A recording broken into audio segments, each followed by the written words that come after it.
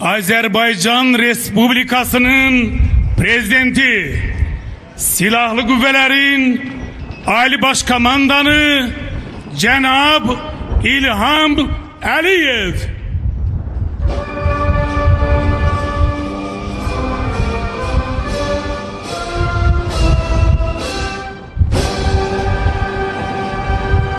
Cenab-ı Ali Başkomandan, Xüsusi Təyinatlı Qüvvələrin iki briqadası qüvvələrin yaradılmasının 23-cü il dönümünə həsr edilmiş mərasimə düzülüb. Xüsusi Təyinatlı Qüvvələr Komandanı General Leytenant Mirzəyev.